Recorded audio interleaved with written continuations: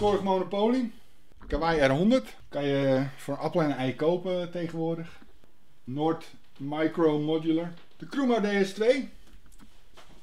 Italiaanse bouwkwaliteit. Uh, sequential drum tracks. Dat is de oude drum tracks van Legoweld van Danny. De Korg 800 DV. Dit zijn uh, twee Korgs in één. En het grappige hieraan vind ik bijvoorbeeld dat uh, alles is andersom. Dus als je de fader naar onderen draait, dan is die open. En zo draai hem dicht. Nou, 808 heeft, heeft iedereen al gedaan, maar ik wil hem toch uh, even erbij noemen, want het is wel. Uh, er zit gewoon de mooiste drumgeluiden in.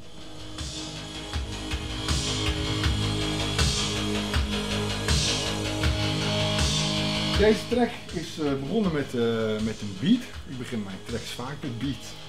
Dat is de beat die uit deze, uit de 100 komt. Die zijn gewoon uh, het beat samen op de machine zelf uh, geprogrammeerd.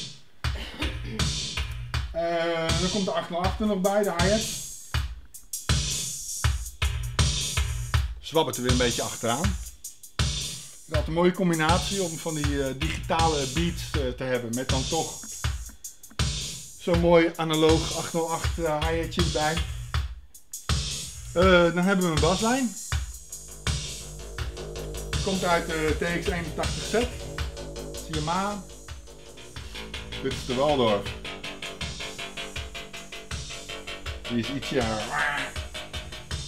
Ah, deze zit er nog in, de K1. Dat is deze. Ik zal even apart laten horen.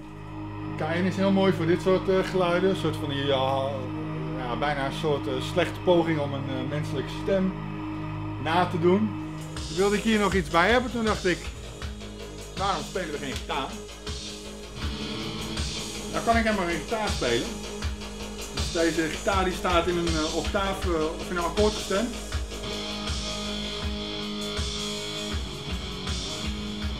Dat is het enige wat ik... Simpel maar doeltreffend. Het werkt.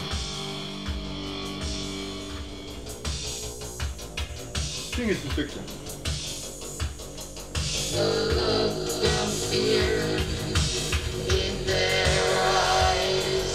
Ga dus door deze vocoder heen.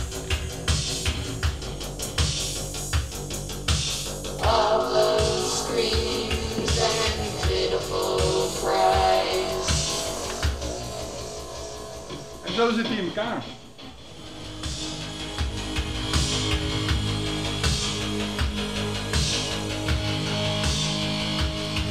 Mijn truck is de DNR mengtafel, DNR. Uh, dit is 24 kanaals DNR mengtafel, uh, gebouwd in Amsterdam en deze is gebouwd denk ik in Weesp. En daar zit DNR nog steeds, die blijft bij.